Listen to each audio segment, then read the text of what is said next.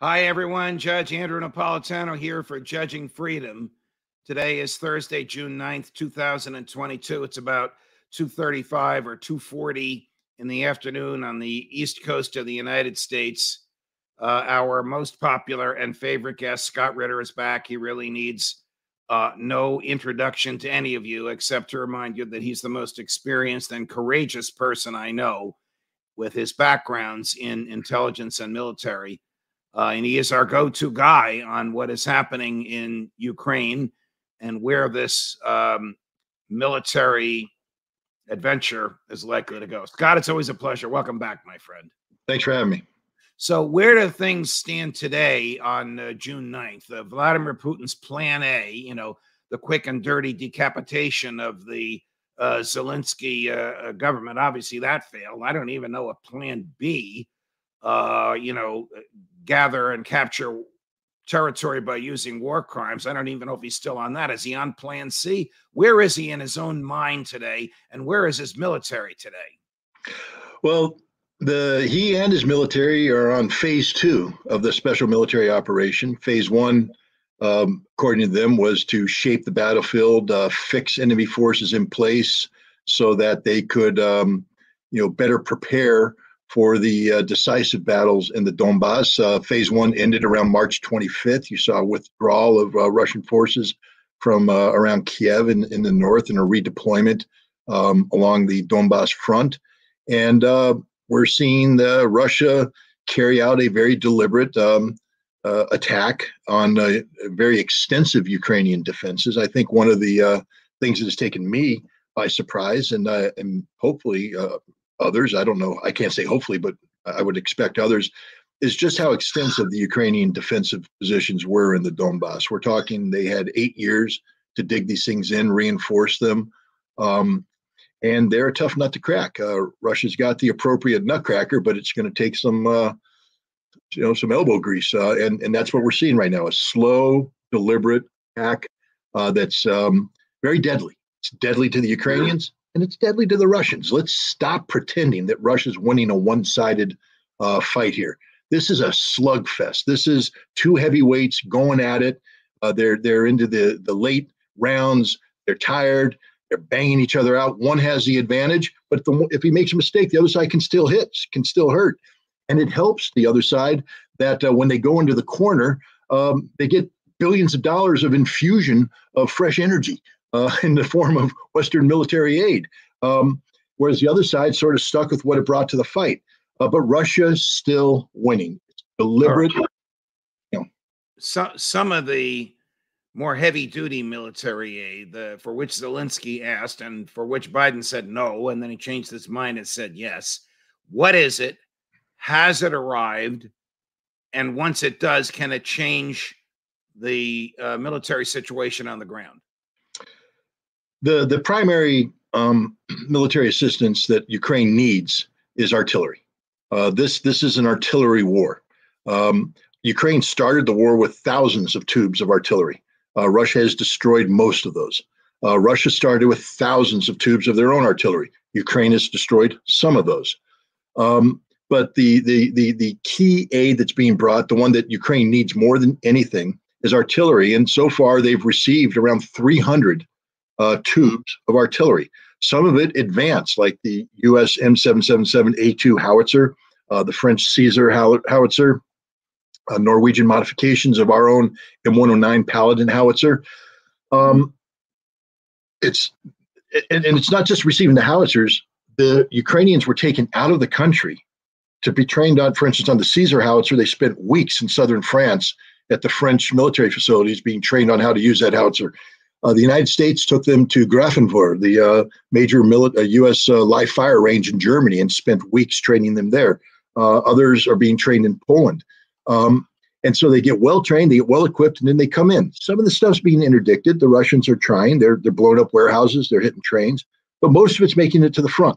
All right, let me stop and, you. When you yeah. when you say these howitzers are advanced, what do you mean? Do you mean they can hit Russia? They can hit the other side of the border? As well as hitting Russian troops in Ukraine?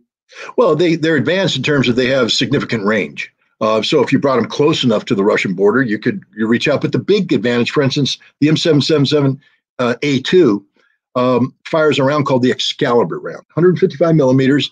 Uh, it's GPS guided. GPS guided. That means that the United States provides Ukraine real time with the satellite, the GPS coordinates of the location of a Russian command post, real time, meaning we just saw them, they're there. That information is sent directly to, or maybe with one or two stops, to the artillery unit, which plugs in the coordinates, fires the shell, and a few seconds later, death and destruction is brought to bear on the Russian command post. This isn't hypothetical, it's happening as we speak.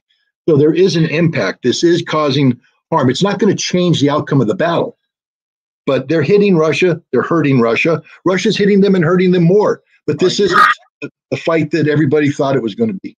You uh, told us uh, several times, and this is six, seven, eight, nine, ten weeks ago, uh, that Russia would win, Ukraine would lose. Yep. The military equipment and the money that we're pouring in causes nothing but death and destruction in Ukraine and, and death and destruction amongst the Russian military. Do you still feel that way, or do you see a stalemate, or do you see a pushback, or do you see Putin collapsing because of, of a loss of domestic support? I, at this juncture, I don't see Putin collapsing. I still see him firmly in charge uh, with with serious support. But I'll, I'll caveat this: the Russian people support Putin so long as Putin is committed to victory uh, we can no longer speculate are the Russian people willing to accept losses? They've they've suffered losses. Okay, There's Russian would, brothers. What would victory be for Putin? He already well, has the East, but he's destroyed it. He basically captured a, a wasteland. Isn't that so, Scott? Well, they've there's been a lot of destruction. I will say this: uh, the Western media will never cover this, but the Russian military does its best to minimize damage to the civilian infrastructure and as soon as they capture an area, you have a, a Ministry of Emergency Services and Reconstruction come in and they start rebuilding because it's the Russian goal to get Donetsk back up on its feet, uh, fully functional as soon as possible. So there is a lot of destruction. Um, one of the reasons is that the Ukrainians opt to uh, defend, you know, in industrial zones, uh, in residential zones. So there's going to be destruction, but the Russians are um, they, they do keep in their mind the fact that there's going to be the day after. And okay, what's what, will, what will it take the day of or the day after, Scott, for Putin to get on national television and say we won and to say it so that it is believable? Well, here's the interesting thing because had you asked me this question two days ago, I would have said um, denazification means absolute total denazification of, of Ukraine. Uh, demilitarization means the total destruction of the Ukrainian military and every piece of NATO equipment there. But yesterday, Sergei Lavrov, the foreign minister, when answering a question from uh, the media, the Russian, foreign, the Russian, Russian, foreign. Russian, foreign minister, a heavy hitter, a heavy hitter who doesn't speak idly, uh, when asked about Russian objectives, said that Russia will seek denazification, that the, the, the objective of Russia is denazification of eastern Ukraine. You see what I just did there? Eastern Ukraine. That's the first time the Russians have ever put a caveat or a modifier on denazification. Okay, so uh, we all know what the word denazification means, but what is he talking about denazifying? The local police, the federal police, the military, the cultural attitude of the people that live there. Who who are the Nazis we say that with a capital N, I assume, that the Russians claim they want to and can get rid of? Well, first of all, anybody who is um, a member of or a supporter of uh, the various um, neo-Nazi military formations, Azov Regiment, Kraken Battalion, uh, other other units of that nature, um, the political parties, the, the far right-wing political parties, um, Svoboda and, uh, and, and right sector and things of that. Those those are uh, in, in Kharkov, and, and, it's interesting you said Eastern Ukraine because uh, Kharkov, of course, is the um, birthplace of the Azov Regiment. Um, the Kharkov Soccer Soccer Club is a far right neo-Nazi organization. Are these are these militias and regiments, as you call them? I assume that's an interchangeable those phrase those words. Are they under the control of uh, President Zelensky and the senior military people? uh, in the Ukraine government, or do they act independently of the senior military people in the Ukraine government? Let's put it this way: they take suggestions from Zelensky and from the senior Ukrainian military, but they fight on their terms. Um, they they um, you know they opted into this battle. They started the fight in Donbass. Uh, they are committed to this fight in Donbass. Um, they view any retreat as uh, being sacrilegious.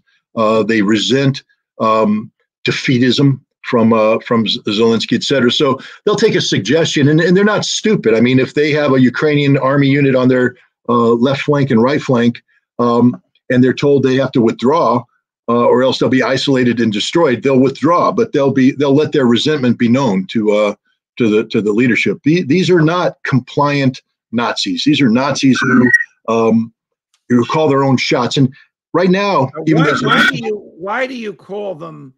Nazis. I mean, do, are are they Nazis in the literal sense uh, about their their belief in racial superiority and the inferiority of the Jewish people, or are they just hard right politicos? No, these are these are Nazis in the in the worst sense in the world. Um, these are Ukrainian nationalists who believe that Ukraine is a Aryan race, a a, a, a superior race. They view the Russians, they call them orcs. They view them as subhuman. They view Poles as subhuman. And this isn't just a political belief. Uh, in their resistance, the, the, the resistance of the Bandera movement against uh, Soviet authority from 1944 to 1953, uh, they killed over 150,000 Poles in Western Ukraine. They killed 200,000 Russians uh, because they view them as subhuman. What time, period, what time period in history are you talking about here? 1944 to 1953. Okay, so the people we're talking about now are two generations later. Right, and they worship the people. Later. They worship the people that carried out these crimes. They call Stepan Bandera a national hero. Uh, they put statues up to him. They tattoo their bodies with the symbols of, uh, of of this organization. They hold parades in their honor. So, so does Putin want the land, which he's now destroyed, or does he want to destroy this political, ideological Nazi culture? And if the answer is the latter, what does he care? that's in Ukraine? Well, we'll, we'll start with what what does he want? Um, Putin cares about the Russian people. That's his number one priority. Uh, whether you live in Russia or you live elsewhere, uh, he has said. If you remember, he gave a uh, a statement that's been misquoted often um, that the greatest um, geopolitical tragedy of uh, of the last century was the collapse of the Soviet Union. And everybody stops right there and says, "Ah, Putin's an old Soviet hand. He wants the Soviet Union back. No, he doesn't. Because the next part, because overnight, tens of millions of Russians were made homeless, homeless with no pension, no care, nothing. They were abandoned. And I, he said, as the president of all Russia, all Russians, will never abandon them. So when we speak of Ukraine, we're speaking of Eastern Ukraine. This is an area that's dominated by ethnic Russians. And right now, as we speak, Zelensky has passed laws banning the Russian language, banning Russian culture, um, basically turning the Russians into subhumans. It's a Nazi policy, and uh, that's not going to stand. So Putin is going to secure the future of these Russians, and the way to do that is bring the territory in which they live under Russian government control. So it's is, not just is, is it is it uh, within his plan to utterly destroy the territory he wants, to alienate the 44 million people that live uh, in the whole country, and to expect to acquire that land peacefully, doesn't he know these Nazis, as you call them, will be firing back at him till the end of time or until the last one of them is standing? Well, this is an existential struggle. First of all, he's not trying to destroy the land. The land's being destroyed as an inevitable outcome of combat. He gave the Ukrainians the option to take the easy way out. They opted out. They got, they decided to fight. So now there's a fight. But the Russians, remember, the land he's taking is land that is populated primarily by ethnic Russians. So why destroy the land that you're trying to uh, preserve for the Russians you're trying to defend? Okay, uh, so what is the, what is the condition of eastern Ukraine today? cities, cities are leveled and wheat fields are destroyed. Fair?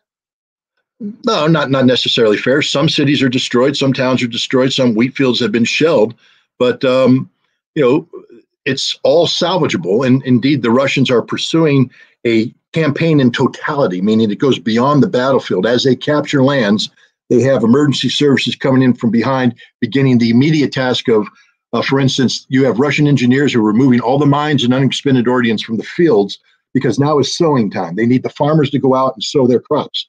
Farmers can't do that if they're going to get blown up.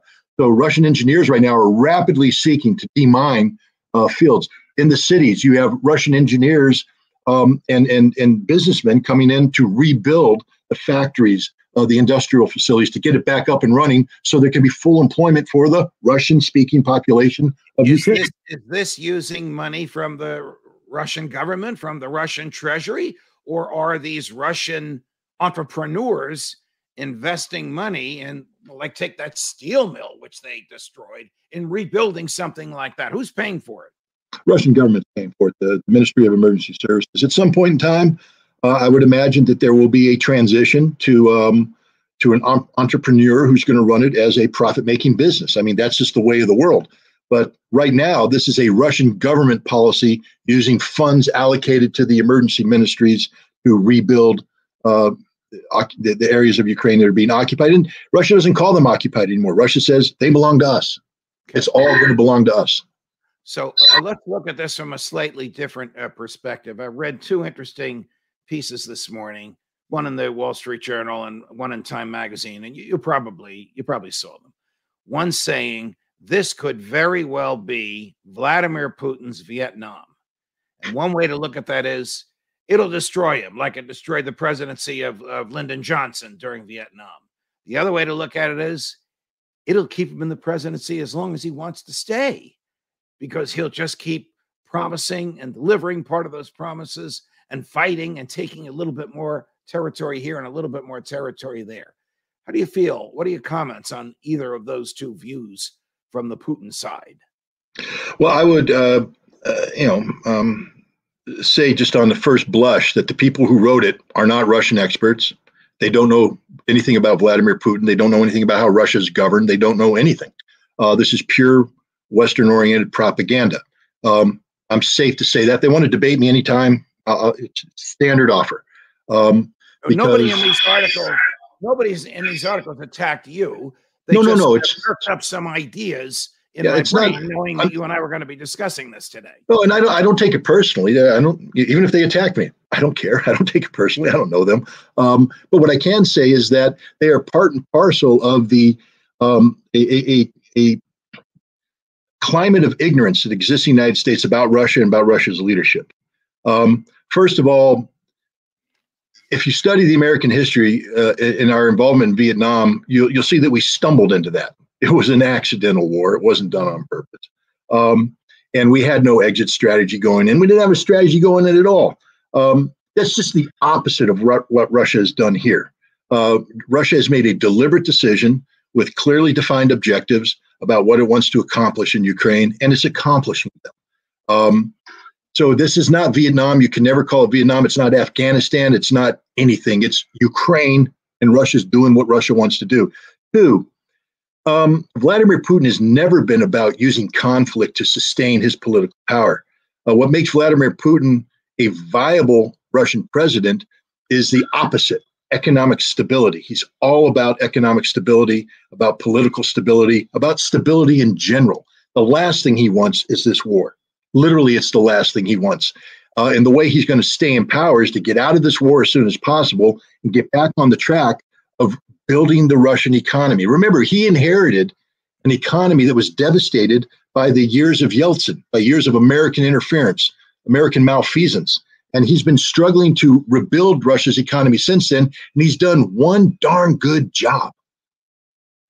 How uh, stable is the Zelensky government? And what opposition, if any, does Zelensky have domestically? I don't mean from the Russians, I mean from uh, uh, politicians in, in Ukraine that don't like him. Are they all united behind him, or does he have a domestic opposition? Before this war started, Zelensky went from 78% support to 23% support. This is before the war. Uh, in order to stay in power, he had to ban all opposition parties. That means people who are politically opposed to them. He banned them. He outlawed uh, any opposition media. Um, if we were in Ukraine and we were speaking out against him, he would have banned you. He would have banned me. Um, that's before the war. Once the war started, he now has declared martial law. He has banned all political parties except the neo Nazi parties, far right. Which means his government is de facto a Nazi government. That's is what he, is. Is he a member of the neo Nazi parties? I mean, stated differently, is Vladimir Zelensky a Nazi? No. Vladimir Zelensky is a weak political leader who sold his soul to the devil um, because he got involved in something that uh, was well beyond his pay grade. Uh, he got involved in a war he doesn't understand. Uh, he got involved in domestic politics he can't control, and um, you know he he took the path of least resistance. And in this case, it meant embracing the Nazis, bringing them in close, and they're the ones calling the shots today. If you think Zelensky's in charge, you're wrong. Zelensky is basically the mouthpiece of the far right. All right. So